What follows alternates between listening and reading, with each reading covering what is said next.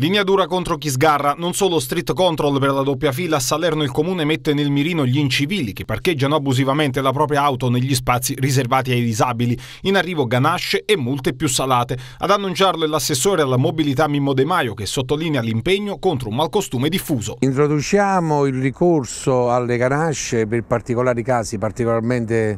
diciamo, um, significativi che possono creare eh, seri problemi, a partire da questa eh, attitudine che abbiamo riscontrato in alcuni casi di lasciare le auto parcheggiate negli stalli dedicati ai portatori di handicap, è una cosa che non possiamo accettare, quindi da questo punto di vista interveremo con il sistema delle ganasce attraverso un dispositivo che abbiamo articolato insieme a Salerno Mobilità che credo possa essere un ulteriore deterrente per chi non rispetta quello che deve essere considerato il minimo del, del vivere civile,